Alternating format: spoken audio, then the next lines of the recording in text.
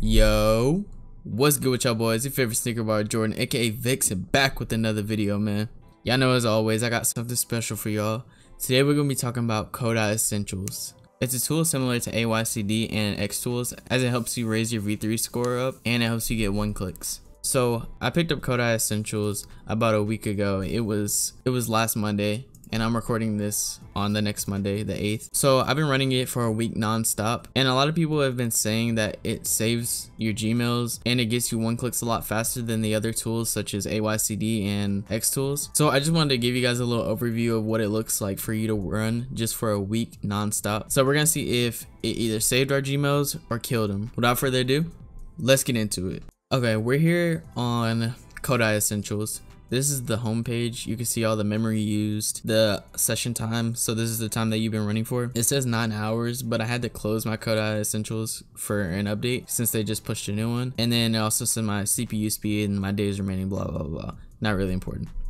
Before we go into the captcha tool, I'm to throw a screenshot up of what my Gmails look like before. So as you can see, they're all red.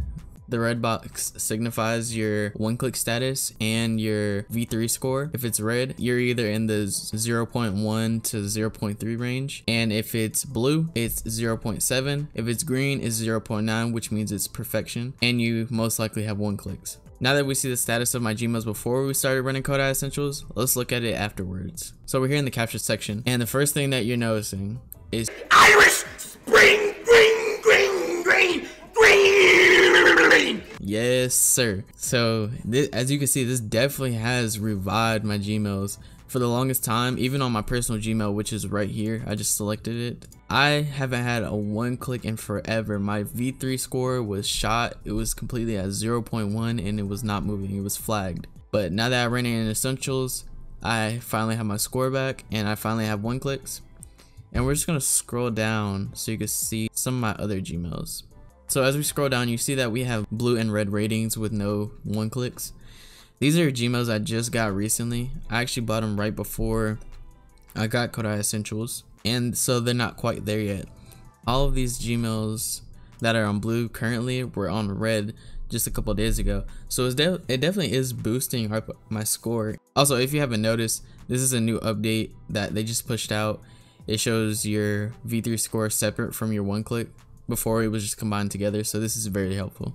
Before i was using Xtools and it was completely just killing my gmails. But now that i ran them in essentials by the time our next Yeezy drop comes up I'm definitely going to have all of these by greens guaranteed. Overall, I'm very pleased with the experience that I've had with Kodai Essentials so far. It definitely has boosted up my score and gave me one clicks way quicker than, than I thought it would have. So if you have an issue with not making it through the Yeezy supply queue or not having one clicks on drops, I definitely recommend you picking up Kodai Essentials. I'm probably going to be using this for a long time.